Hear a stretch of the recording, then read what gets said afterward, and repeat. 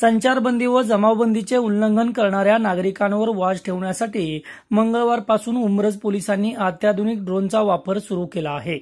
त्यामुळे आता एकाच वेळी बहुतांश परिसरावर पोलिसांची नजर राहणार असून उल्लंघन करणाऱ्या नागरिकांवर तातडीने कारवाई करण्यात येणार असल्याची माहिती सहाय्यक पोलीस निरीक्षक अजय गोरड यांनी दिली.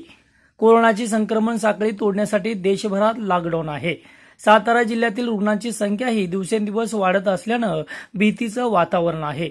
यामुळे प्रशासनाने नागरिकांच्या आरोग्यासाठी संचारबंदी व जमावबंदी लागू केली आहे. या आदेशाचे जे उल्लंघन करतात त्यांच्यावर पोलीस कारवाई करत आहेत. मात्र या कारवाईला मर्यादा येत असल्यामुळे अशा नागरिकांवर वाज ठेवण्यासाठी मंगळवारपासून उमरज पोलिसांनी अत्याधुनिक ड्रोनच्या यंत्रणेचा वापर सुरू केला. उमरज पोलीस ठाण्याच्या हद्दीतील गावांमध्ये विनाकारण फिरत असणाऱ्या तसेच गल्लीबोळात फिरणाऱ्या व गल्लीत एकत्र बसणाऱ्या नागरिकांवर ड्रोनद्वारे नजर ठेवली जाणार आहे.